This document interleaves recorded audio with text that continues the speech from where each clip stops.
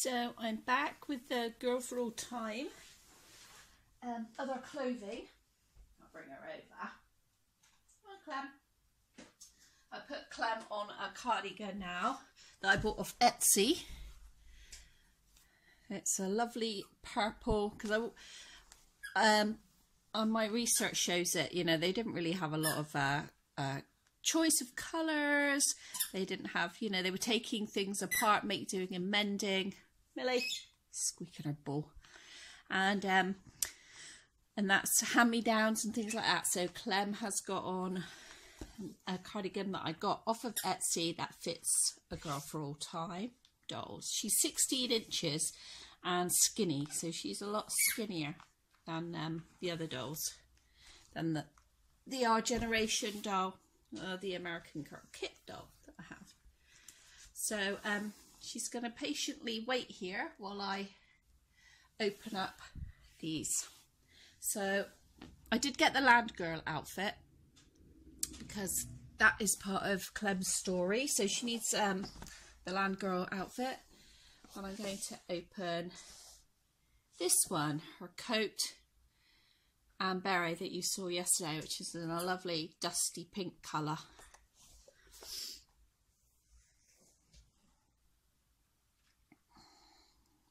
So it's basically, the box is the same as the one I showed you yesterday. Gorgeous box. Let's see what it's like inside. So straight away I've took it out of the box, straight away I turn around and I'm dismayed to see strings because oh, I know they leave marks. They won't show though in this because it's wool so that is a bonus on this but when you think this this outfit was I think 35 pounds.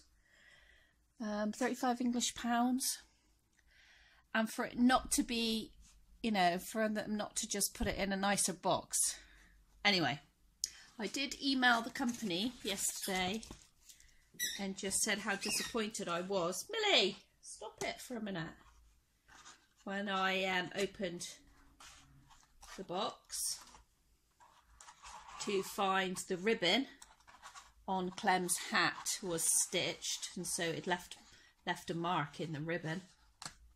Because I was. I am that is disappointing.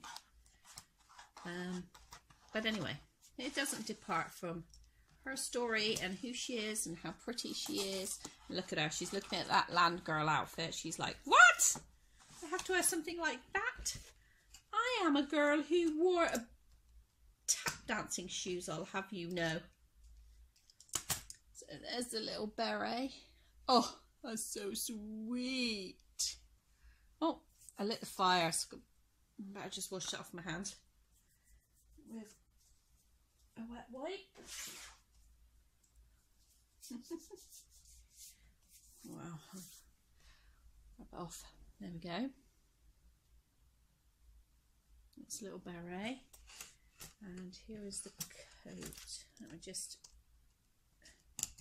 I'm trying to get it off as carefully as possible so I don't leave any I leave as minimal marks as I can from because I don't want to pull any of the, the fabric. Oh it's on the coat.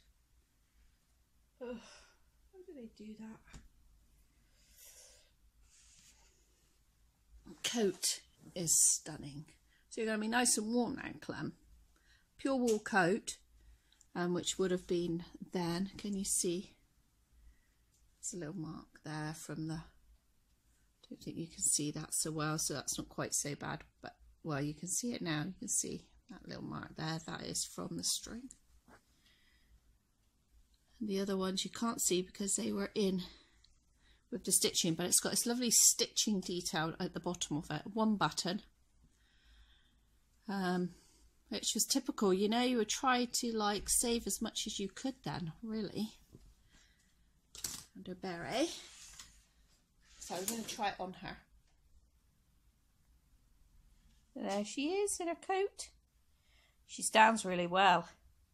It looks really great on her. The coat is a snap. The button is actually, it doesn't work as a button, it is a snap and it comes just above her dress hem.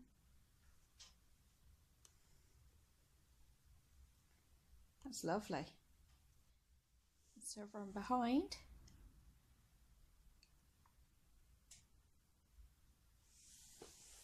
Couldn't put it on with the cardigan on though. You know you had to be pretty pretty brave and strong in those days. And quite often, you know, you just, a lot of the children just went with no coat or a coat that was miles too big for them. A coat that had bits attached to it because it had been, it was too small for them. So it, they'd have to make um, additional features to them. So Clem's very lucky to actually have such a nice coat and beret. I think Clem likes her new coat. Look at those beautiful little sandals. So sweet in there. They're so sweet. Look at them.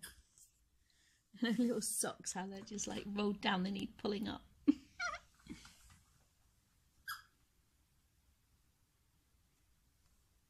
Clem. Warm enough? Yes. Okay, we're open the land outfit in another video. The land girl outfit in another video.